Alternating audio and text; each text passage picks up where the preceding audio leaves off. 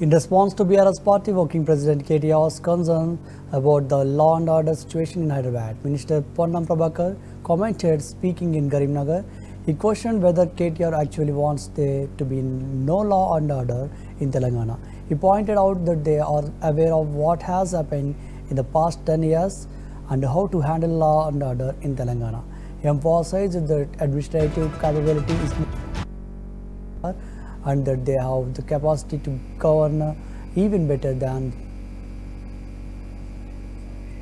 గణేష్ నవరాత్రి ఉత్సవాలను అత్యంత దైవ భక్తితోటి నిర్వహించుకొని పదహారో తేదీ సోమవారం నాడు కరీంనగర్ పట్టణ కేంద్రంలో ఏర్పాటు చేసినటువంటి వందలాది గణేష విగ్రహాలను మానకొండూరు చెరువులో కొత్తపల్లి చెరువులో చింతకుట కెనాల్లో మూడు జాగలలా నిమజ్జనం చేస్తారు.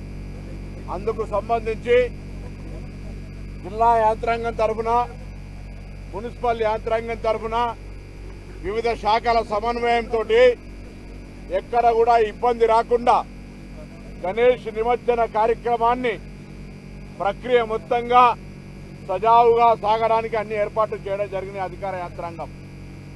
ప్రభుత్వం ఇప్పటికే గణేష మండపాలకు సంబంధించి మొట్టమొదటిసారిగా చరిత్రలో ఉచిత విద్యుత్తుని ఇవ్వడమే కాకుండా వేడుకలు ఘనంగా జరగాలి.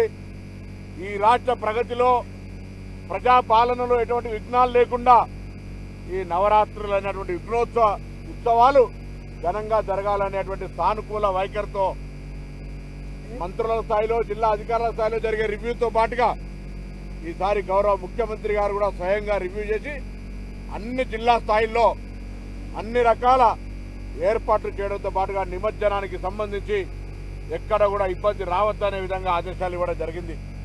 అందుకు అనుగుణంగా మున్సిపల్ యాంత్రాంగం కానీ జిల్లా యాంత్రాంగం కానీ అనుబంధ సంఘ అనుబంధానికి సంబంధించిన శాఖలు అన్నీ కూడా ఇక్కడ ఏర్పాటు చేయడం జరిగింది. ఏమైనా ఇబ్బంది ఉంటే గజ ఈతగాళ్ళు కావచ్చు ఫైర్ సిబ్బంది కావచ్చు నిరంతర విద్యుత్కు విద్యుత్ శాఖ వాళ్ళు కావచ్చు శాంతి భద్రతలకు పోలీసులు కావచ్చు సమన్వయం చేసి అతిథులు వీఐపీలు వస్తే రెవెన్యూ పరంగా కావచ్చు మున్సిపల్ పరంగా సౌకర్యాలు కావచ్చు పంచాయతీరాజ్ అంతా కూడా అన్ని రకాల శాఖల భాగస్వామ్యంతో గణేష్ ఉత్సవాలు